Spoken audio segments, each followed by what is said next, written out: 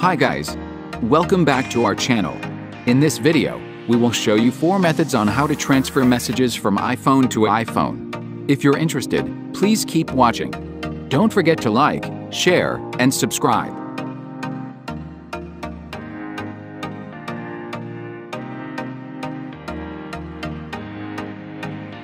Turn on iCloud Sync on your old iPhone, and then log in Apple ID on the new iPhone. Choose iCloud to turn on Messages Sync.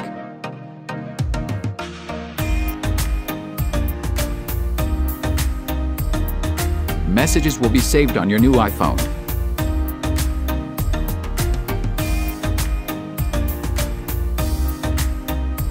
Open AnyTrans and connect your iPhones to computer via USB cable. Choose Phone Switcher. Check your source and target iPhone, then click on Next. Select Messages and click on Next.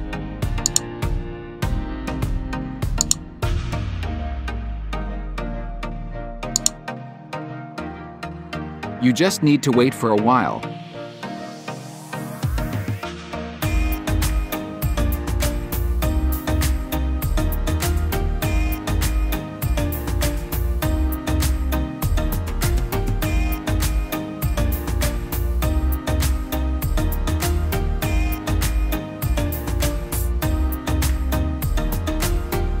Run iTunes on your computer and connect the old iPhone via USB cable. Click phone icon on the top left corner and find backups. Then, click on Backup Now.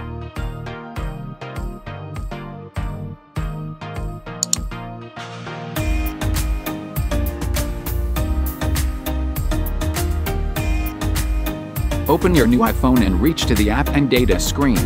Attention! If you already set up your new device, you need to erase it first. If you don't know how to erase, please follow these steps. Go Settings to find General. Then, tap on Reset and choose Erase all content and settings.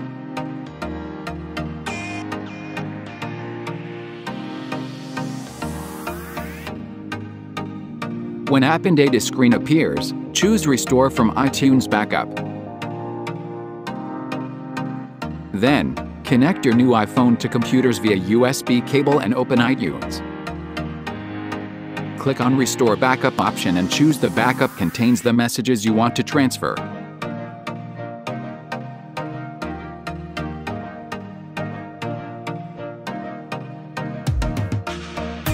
Please follow method 1 to turn on Messages Sync on your old iPhone.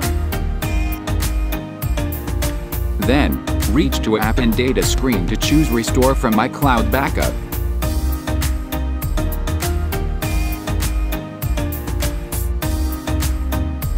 When finished, your messages will be synced to your new iPhone. If you're interested, please go to www.imobie.com to free download AnyTrans. Thanks for watching. Don't forget to subscribe our channel